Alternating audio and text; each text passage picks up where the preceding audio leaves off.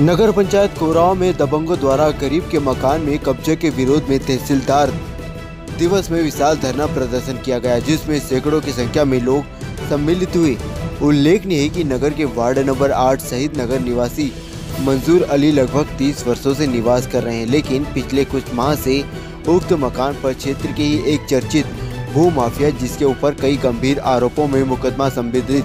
थाने में दर्ज है। उसकी नज़र उक्त भूमि पर लगे और वह उक्त मकान को हर हाल में कब्जा करने की नीयत से अपने एक साथी के साथ मिलकर प्रशासन के मिली भगत से काम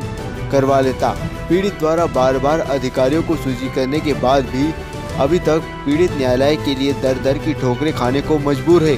जब इस घटना की जानकारी साली भारतीय अल्पसंख्यक महासभा के जिलाध्यक्ष और वरिष्ठ सपा नेता राजेश पांडे और मेहताब खान कोराव पूर्व नगर प्रभारी को हुई तो सैकड़ों की संख्या में पार्टी कार्यकर्ताओं के साथ तहसील में धरना देकर जिलाधिकारी प्रयागराज को संबोधित ज्ञापन, उप जिलाधिकारी कोराव को दिया और चेतावनी दी कि यदि शीघ्र ही उक्त तो मामलों में कोई ठोस कार्रवाई नहीं हुई तो पार्टी के कार्यकर्ताओं द्वारा व्यापक आंदोलन किया जाएगा। धरने में मुख्य रूप से यूसुफ अली, सभासद इसराइल अली नौसाद, अंसारी, मंजूर अली समेत सैकड़ों की संख्या में महिलाएँ और पुरुष शामिल हुए। कोराव प्रयागराज से सत्यम तिवारी की रिपोर्ट।